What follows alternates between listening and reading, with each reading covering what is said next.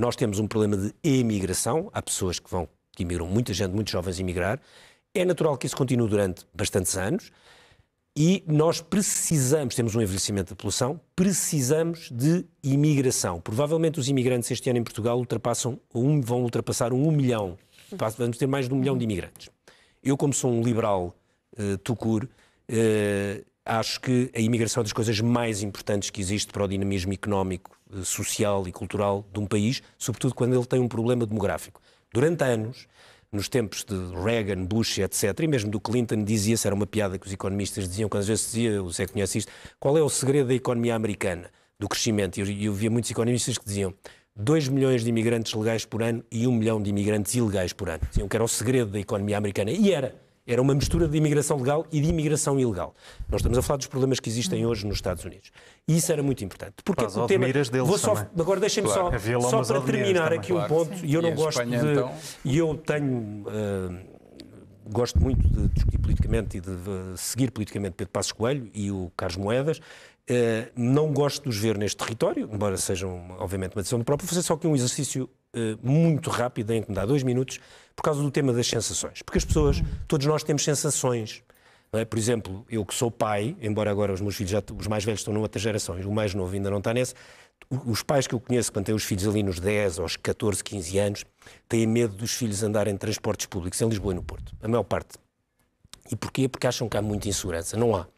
Os pais é que transferem para os seus filhos um medo de insegurança e querem continuar a levá-los à escola. Alguns até levam à faculdade, não é? E agora até mandam mails para os professores na faculdade. E aparecem nas E aparecem, os pais agora fazem isso. Porque não há nenhum dado que haja mais insegurança hoje do que quando estes pais andavam na escola, na há 30 ou há 40 anos. Não há. É completamente falso. É uma trans... transportamos, nós muitas vezes transportamos inseguranças. Vou fazer aqui um exercício muito rápido. Sim. Correio da manhã de hoje, passa a publicidade. Notícias rápidas. Gangue ligado aos superdragões espalha terror. Não acham, tem imigrantes. Depois vamos virar aqui. Queixa no Ministério Público com negócios de bilhetes. Durmo e acordo agarrada à fotografia do meu filho. Mãe de adepto assassinado relatou ao tribunal que perdeu toda a vontade de viver. Orelhas visto, orelhas a um, vistos em cima do corpo de Igor. Agora vou só continuar, desculpem lá só um bocadinho.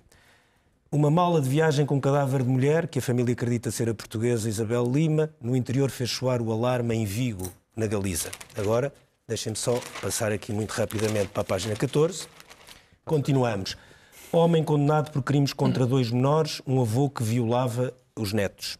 900 crimes sexuais, um homem foi condenado em Lisboa em dezembro de 23, isto é uma edição de tudo de hoje, a 16 anos de cadeia por 900 crimes sexuais. Abusou da neta, um idoso de 78 anos foi condenado em Bragança a dois anos e meio de prisão. Viola em casa, o Tribunal de Leiria condenou a sete anos e meio de prisão efetiva em junho de 2010 um idoso que durante três meses violou a neta. Denuncia trama de alunos. Masturba-se no Petropolitano. Fogo mata idosa amarela. Esta não é. Vamos continuar, só muito rapidamente. Esfaqueado anda 5 minutos para pedir ajuda. 7 anos por traficar 600 mil euros de coca e haxixe.